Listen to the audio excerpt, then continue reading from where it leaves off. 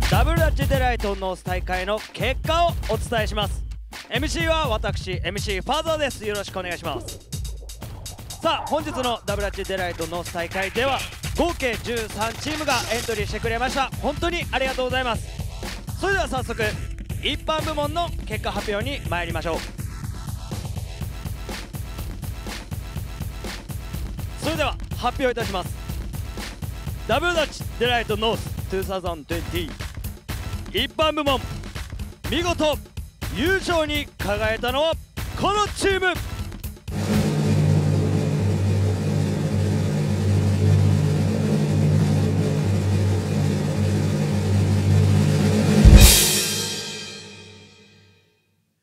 フーレイ!おめでとうございます。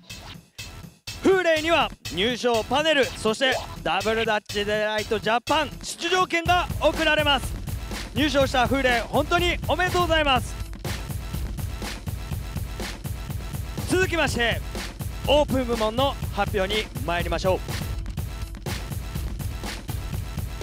発表します。ダブルダッチデライトノース2020オープン部門見事。ジャパンへの切符を掴んだのはこのチーム。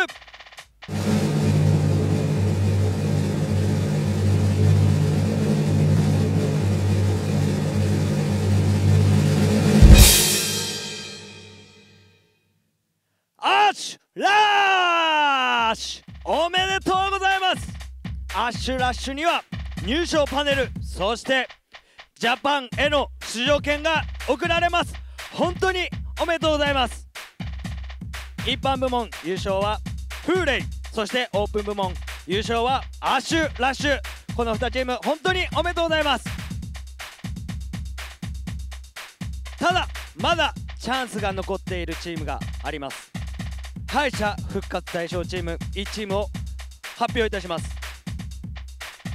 敗者復活対象チームはレベリー。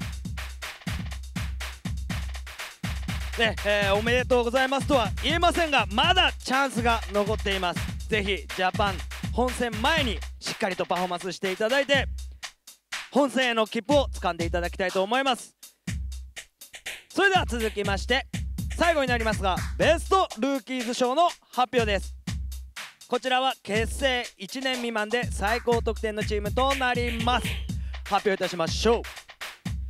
見事ベストルーキーズ賞に輝いたのはエクラおめでとうございます。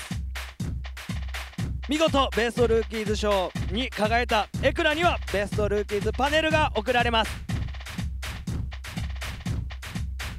さあということで、えー結果発表はこれにて終了となりますがまずはですね本当に出場した選手の皆様お疲れ様でした。新型コロナウイルス感染症の影響で活動もままならない時期もあったと思いますがこちらですね安全に開催するために選手の皆さんをはじめ観覧の皆様にもたくさんご理解とご協力をいただきましたことを熱く熱く御礼申し上げます。本当に本当にありがとうございました。それではですね、えーあと地区予選が9月の20日日曜日にダブルダッチデライトネクストヒーローズイースト大会そしてダブルダッチデライトイースト大会を開催いたします。こちらの結果発表は同じく配信となりますのでお見逃しなく。ということで以上結果発表終了となります。MC は私 MC ファーザーでした。また会いましょう。ありがとうございました。バイバイ。